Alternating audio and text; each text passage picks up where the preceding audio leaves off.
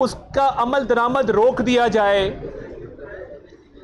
हम ये समझते हैं कि ये गैर आइनी और गैर कानूनी इकदाम था कि कानून की शक्ल इख्तियार करने से पहले ही उसका अमल दरामद रोक देना और एक ऐसा कानून जिसकी आइन इजाज़त देता है। और आइन में ये बात दर्ज है कि चीफ जस्टिस का इख्तियार बेंचेस बनाने का वो आइन और कानून के ताबे है। अब जब आइन में कानून का लफ्ज़ आ गया तो इसका मतलब ये है कि पार्लिमान के पास ये इख्तियार है जो कि आइन का खालिक इदारा है, जो कि आइन साज इदारा है, कानून साज इदारा है और तमाम इदारे अपने इख्तियार अपनी फ़रज़ वो पार्लिमान के ज़रिए उसको चलाते हैं। और पार्लियामान ने ही ये इख्तियार तमाम इदारों को तफवीज़ किया है। मगर इस कानून के मुताबिक जो बेंच इस वक्त बन रहे हैं, मैं इनको गैर कानूनी समझता हूँ। मैं ये समझता हूँ बतौर कानून के तालब इल्म के, कि इस कानून पर अमल दरामद को रोका नहीं जा सकता था। ये कानून की शक्ल इख्तियार करता तब भी इसके अमल दरामद को रोकना सुप्रीम कोर्ट का इख्तियार नहीं था। और चीफ जस्टिस साहब, जिनके इख्तियार के हवाले से ये कानून बनाया गया और जिस कानून के तहत उनके इख्तियार महदूद हुए, वो ख़ुद इस केस को सुन के फ़ैसला कैसे कर सकते हैं? चाहिए तो ये था कि वो कहते कि मैं इस केस से अलीहदगी इख्तियार करता हूँ और मैं इस केस को नहीं सुनूँगा, क्योंकि ये मेरे इख्तियार से मुतलक एक केस है और इससे मेरे इख्तियार मुतासर होते हैं तो इसलिए मैं फुल कोर्ट तश्कील देता हूँ, मगर बतौर मास्टर ऑफ़ रोस्टर, मैं ख़ुद इस केस में बैठना मुनासिब नहीं समझता। और आपको पता है कि चीफ जस्टिस का जो इंतज़ामी इख्तियार है, वो सिर्फ़ इस वजह से है कि वो सीनियर हैं। इसके अलावा बाकी सुप्रीम कोर्ट के जजेस के साथ वो बराबरी की सतह पे हैं। He is one among equals one among equals का मतलब ये है कि तमाम जजेस को एक ही तरह का मर्तबा और दर्जा हासिल है। सिर्फ़ सीनियर होने की वजह से इंतज़ामी अमूर चीफ जस्टिस ऑफ़ पाकिस्तान सर अंजाम देते हैं। मगर बेंच बनाने का इख्तियार ये कुल्ली तौर पे चीफ जस्टिस की सवाबदीद नहीं है। इसमें एक इज्तमाहीत की सोच है। ये इज्तमाही इख्तियार है। जहाँ जहाँ आइन में ये दर्ज है कि सुप्रीम कोर्ट के क्या इख्तियारात हैं, वहाँ वहाँ लफ्ज़ सुप्रीम कोर्ट आया है, लफ्ज़ चीफ जस्टिस नहीं आया। और जहाँ जहाँ कहा गया है कि ये ये इख्तियारात होंगे सुप्रीम कोर्ट के मुल्क की तमाम अथॉरिटीज़ उसके ताबे होंगी, उसके हुक्म के ताबे होंगी। वहाँ चीफ जस्टिस नहीं लिखा गया, सुप्रीम कोर्ट लिखा गया है। तो क्या ही अच्छा होता कि chief justice of Pakistan conflict of interest के तहत, मफादात के तसादम के तहत अपने आप को इस बेंच से अलहदा कर लेते और एक फुल कोर्ट तश्कील दे देते। और ये जो कानून मार्ज वजूद में आने से पहले जिसको स्ट्राइक डाउन किया गया जो पार्लियामान का इख्तियार था कानून साजी का, उसको यूसर्प किया गया। उसको गैर आइनी गैर कानूनी तौर पे ख़त्म किया गया उस इख्तियार को। तो क्या पार्लियामान अब कानून साजी ना करे? क्या ये समझ लिया जाए कि कानून साजी सुप्रीम कोर्ट का इख्तियार है?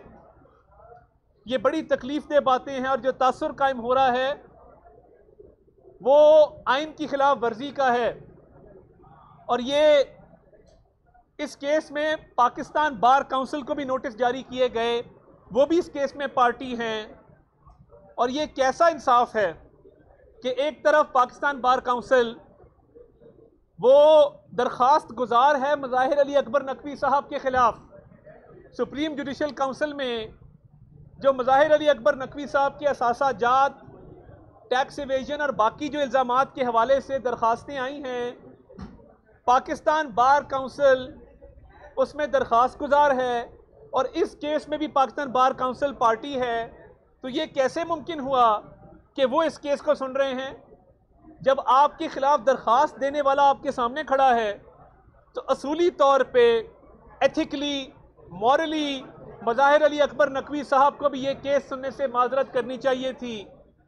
और क्या अमर माने हैं कि अभी तक मज़ाहिर अली अकबर नकवी साहब के ख़िलाफ़ आर्टिकल 209 के तहत जितनी भी दरख्वास्तें आई हैं, वो समात के लिए मुकर नहीं हो सकी। क्या उनको ये प्रोटेक्शन इसलिए हासिल है कि उन पे इल्ज़ाम जो हैं, वो दुरुस्त हैं? जो 10 करोड़ का घर 40 करोड़ का घर उन्होंने 10 करोड़ में ख़रीदा, क्या उनके पास वाइट मनी है ये शो करने के लिए कि उन्होंने वो कौन से ज़राए थे जिससे वो घर ख़रीदा गया? वो कौन सा बैंक अकाउंट था जिससे वो पैसे ट्रांसफ़र हुए?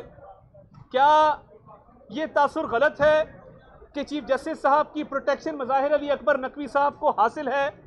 अगर आर्टिकल 209 के तहत दायर की हुई दरखास्तें समात के लिए मुकर नहीं होनी तो सुप्रीम कोर्ट से दरखास्त है कि वो पार्लियामान को डायरेक्शन दे दें कि आइनी तरमीम करके आर्टिकल 209 का सफ़ा ख़त्म कर दिया जाए आइन से उसको हजफ कर दिया जाए।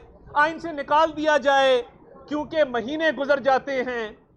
सियासी नोयत के केसेस पाँच मिनट में डायरी नंबर लगता है, दस मिनट में समाप्त के लिए मुकर होते हैं। और महीने गुजर जाएँ, और मज़ाहिर अली अकबर नकवी साहब के खिलाफ करप्शन का मुँह बोलता सबूत। कागज़ चिल्ला चिल्ला के कह रहे हैं कि करप्शन हुई है, यही तासुर है। वो समाज के लिए मुकर ना किया जाए। इतने इल्ज़ाम किसी और पे लगे होते वो ये जसारत ही ना करता कि वो बेंच में शामिल हो। तो क्या वजह है कि आर्टिकल 209 को आपने इनफेक्टिव कर दिया है? आर्टिकल आपने एक पार्लियामान का इख्तियार कानून साजी का तो ले लिया, और उस कानून साजी का इख्तियार लेने के साथ साथ उस कानून को मार्ज वजूद में आने से पहले ही अमल दरामद रुकवा दिया, मान लिया। हम कोर्ट में खड़े हैं, लीगल आर्ग्यूमेंट्स दे रहे हैं मगर क्या आपने आर्टिकल 209 को भी रोक दिया है? इंसाफ हासिल करने के लिए कौन से सैारे पर जाना पड़ेगा? किसको दरखास्त डालनी पड़ेगी? किसके आगे ये अर्जी डालनी पड़ेगी? कि जो रेफरेंसेस पेंडिंग हैं, वो समाज के लिए मुकर तो किए जाएँ। कानून साजी का इख्तियार सिर्फ़ और सिर्फ़ पार्लियामान का है। अगर आपने आइन पर अमल दरामद किया होता आइन की इज़्ज़त की होती तो आप खुद भी अलहदा होते, मज़ाहिर अली अकबर नकवी को भी अलहदा करते और बाकी तेरह जजेस पर मुश्तमिल फुल कोर्ट बना देते। फुल कोर्ट के हक में आज जो दलाइल दिए गए सलाउद्दीन अहमद साहब की तरफ़ से, जो हमारे वकील हैं, और अटॉर्नी जनरल ऑफ़ पाकिस्तान की तरफ़ से। मिसालें दी गई कि फुल कोर्ट माजी में कहाँ कहाँ बना और क्यों बना। जब बेंचेस की तश्कील का मामला आया है तो क्या उस पर सुप्रीम कोर्ट की इज्तमाही सोच और कलेक्टिव विजडम अप्लाई नहीं होनी चाहिए? हमें शदीद तहफ़ात हैं और लगता यह है कि ये तीन हफ़्ते की तारीख इसलिए डाली गई है क्योंकि चीफ ऑनरेबल चीफ जस्टिस ये तासर दे रहे हैं कि वो अपने टेन्योर में इसको डिसाइड नहीं करना चाहते। वो इसका इतलाक आने वाले चीफ जस्टिस साहिबान के अदवार में करना चाहते हैं। ये रोज़े रोशन की तरह मामला अयाँ हो चुका है। सियासी नोयत के केस हों तो मिनटों में फैसले होते हैं। और जब अपने इख्तियार की बारी आए तो जज, ज्यूरी और एग्जीक्यूशनर बैठना भी खुद है, फैसला भी खुद करना है, फुल कोर्ट भी नहीं बनाना, और तीन हफ़्ते की तारीख भी देनी है। इस पर मैं सिर्फ़ अफसोस का इजहार कर सकता हूँ कि काश इंसाफ के तकाजे पूरे होते, काश आइन की जो मंशा है, वो पूरी होती, और इंसाफ सिर्फ़ होता ना, होता हुआ नज़र भी आता। बहुत शुक्रिया।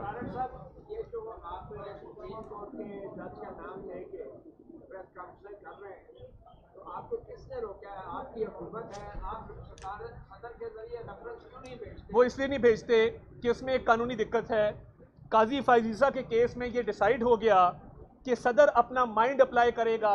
अपना माइंड अप्लाई करने के बाद वो रेफरेंस भेजेगा, मगर एक तजवीज़ ज़रूर जेर गौर है कि पार्लियामान सदर का माइंड होता तो वो मैटर करते, उनका माइंड नहीं है, इसलिए वो मैटर नहीं करते। तो देखिए, वो अब ये जो सोच चल रही है, वो पार्लियामान के अंदर जो चह चल रही हैं पार्लियामान की तरफ़ से एक रेफरेंस आने की तो है। पार्लियामान के तमाम मेंबर्स तमाम पार्टियों से ताल्लुक़ रखने वाले मेंबरान वो एक रेफरेंस दायर करना चाहते हैं इंडिविजुअल कैपेसिटी में। वो कंप्लेन होगी। लेकिन दो सौ नौ होता है वो पाबंद होती है सुप्रीम कोर्ट उसको सुनने वो आपकी बात दुरुस्त है। महीने से जज का नाम लेके प्रेस कॉन्फ्रेंस कर रहे हैं। सिर्फ़ नाम नहीं ले रहे। बीस दिन का बीस दिन का ज़्यादा से ज़्यादा सदर रोक सकता था। तो नहीं माइंड अप्लाई करने का मतलब है कि वो उसको मुस्तरद करके वापस भेज सकता है मगर हमने क्या किया? आर्टिकल आप अपनी सियासत के लिए अदालत का गद्दा और जज इस्तेमाल कर रहे हैं आपको ये फेयर देता है कि पॉलिटिकल पार्टी हमने किसी एक जज क्यों क्यों कर रही है? आज पब्लिक अकाउंट्स कमेटी ने मामला टेकअप किया, हम सिर्फ़ अदालत में सियासत नहीं कर रहे, जो आप कह रहे हैं। पब्लिक अकाउंट्स कमेटी ने आज अपना इजलास बुलाया है और वो आमदन से जायद असासा जात की टैक्स इवेजन की और जो बाकी इल्ज़ाम लगाए गए हैं, उसकी तहकीक करेगी। अगर आर्टिकल 209 नहीं उसका इतलाक होता तो हमने पार्लियामान के फोरम को इस्तेमाल किया, हम और किधर जाएँ? जब हम पार्लियामेंट के स्पीकर का तौर पर रेफरेंस होगा या इंडिविजुअल पार्टी करेगी? नहीं मैं तो कह रहा हूँ रेफरेंस कर देना समाज के लिए मुकर ड्राई क्लीन कर दें जज साहब को। ड्राई क्लीन करके बाहर निकाल दें हम चुप करके हाथ जोड़ के घर चले जाएँगे। साहब हैं। तारण साहब एक सवाल है कि ये जो रेफरेंस की आप बात कर रहे हैं ये मुश्तरका पार्लियामेंट का रेफरेंस होगा या हर इत्तेहादी पार्टी अलग से हाँ reference file करेगी? इस पे ये मुश्तरका होगा। इस पे सोच विचार जारी है। जल्द आपको इस पे हम इंशाल्लाह कोई ना कोई इसकी आईनी हैसियत वही है कि आर्टिकल 209 के तहत हर फर्द को यह हक हासिल है कि वो कंप्लेंट दायर करे मगर कंप्लेन का फिक्स होना वो क्या अमर माने है? क्यों नहीं फिक्स होती? पब्लिक अकाउंट्स कमेटी जो टैक्स के मामला हैं वो किसी के भी हों। पब्लिक अकाउंट्स कमेटी टैक्स के मामला पे छानबीन कर सकती है। और यही एफबीआर का इदारा था कि जब एक ब्रदर जज की ब्रदर जज की बेगम साहबा को कटहरे में खड़ा करके इसी एफबीआर से तहकीकात कराई थी। Public accounts committee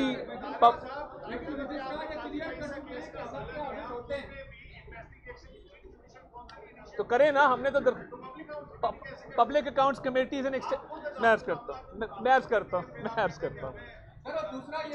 Public accounts committee is an extension of parliament पार्लियामान की कोई भी कमेटी स्पेशली जिनको ये इख्तियार नहीं मगर मगर उनने पावर कहाँ से ड्रॉ की अयाज सादिक साहब ने floor of the house speaker की तवज्जो मबजूल कराई एक मामले की तरफ़ स्पीकर ने वो मामला अपने इख्तियार स्वाब दीदी इख्तियार इस्तेमाल करते हुए पब्लिक अकाउंट्स कमेटी को रेफर किया तो जब आर्टिकल 209 के तहत कार्रवाई नहीं होगी तो पार्लियामान हाथ पे हाथ रख के नहीं बैठ सकता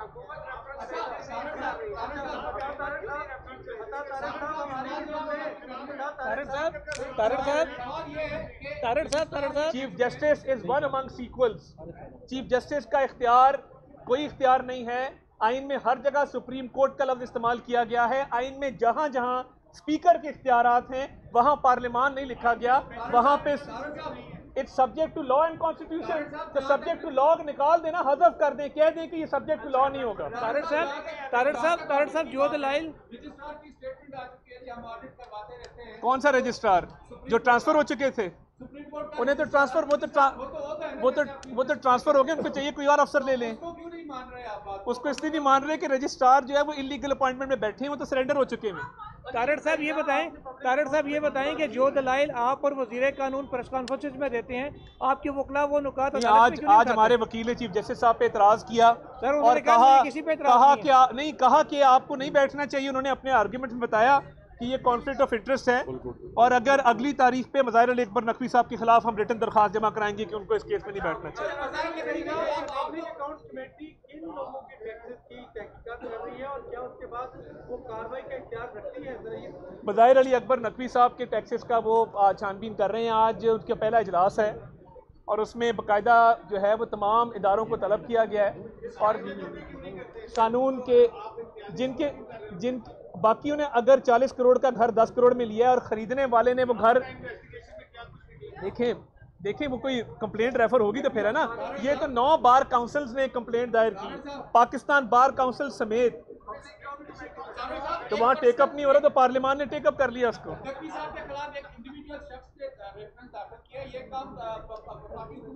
नहीं मैं मैं कह रहा हूँ ना पार्लियामान कर रही है वफाकी हुकूमत करेगी तो सदर के थ्रू करेगी। सदर उस पर बैठ जाएगा। तो देखिए ना, एक काम ऐसा करें, जो मंतकी अंजाम तक पहुँचे तो हम समझते हैं कि बार काउंसिल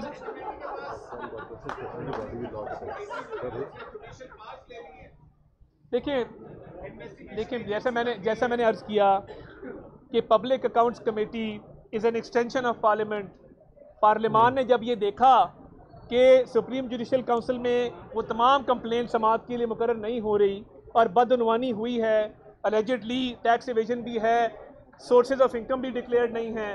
तो उन्होंने इस मामले की तहकीक को ज़रूरी समझा और पार्लियामान ने एक फ़ैसला किया पब्लिक अकाउंट्स कमेटी किसी वजह से उसका वजूद है। तो अब उसमें तहकीकात होंगी, दूध का, दूध पानी का, पानी हो जाएगा। मैंने पहले भी अर्ज़ किया कि प्रेसिडेंट उस रेफरेंस पे अपना माइंड अप्लाई करके वापस कर देगा। आपको आपको देखें, लाहौर की सड़कों पे बंदियाल इमरान भाई भाई के नारे आपने नहीं सुने। हफ़्ते वाले दिन। नहीं, वो है, वो बिल्कुल वो आर्टिकल है बट सुप्रीम कोर्ट का काजी फायदीसा के केस में एक फैसला आ चुका।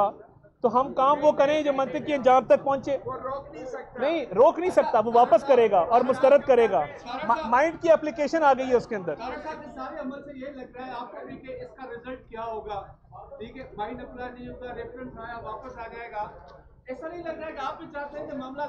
नहीं कतन नहीं। कतन नहीं हम तो चाहते हैं कि चीफ जस्टिस साहब से दरखास्त है कि जितने रेफरेंसेस आए हैं वो सारे समाज के लिए मुकर करें और एक हफ़्ते की टाइमलाइन दें कि उनका फैसला किया जाए। मुझे ये लगता है कि सुप्रीम जुडिशल काउंसिल की कॉम्पोजिशन ऐसी है कि जहाँ पे पाँच वोट दरकार हैं किसी भी रेफरेंस के कामयाब या नाकाम होने के लिए तो वहाँ पे मुझे लगता है इनकी मेजोरिटी नहीं जिस वजह से ये फिक्स नहीं हो रहा। बहुत शुक्रिया। सर इलेक्शन से क्यों भाग रहे हैं? सर इलेक्शन सदर की मुद्दत खत्म होने से तीन दिन पहले करवाया जा सकता है तो क्या नेशनल असेंबली या सदर का इलेक्शन हम एक्सपेक्ट करेंगे जुलाई से पहले देखिए इस पे इस पे इस पे कोई अभी मशावरत नहीं हुई। होगी तो सबसे पहले आपको बताएँगे। देखिए जब तक पार्लियामान की जो सुप्रेमेसी है वो इस्टेब्लिश नहीं हो जाती ये मामला जारी रहेगा।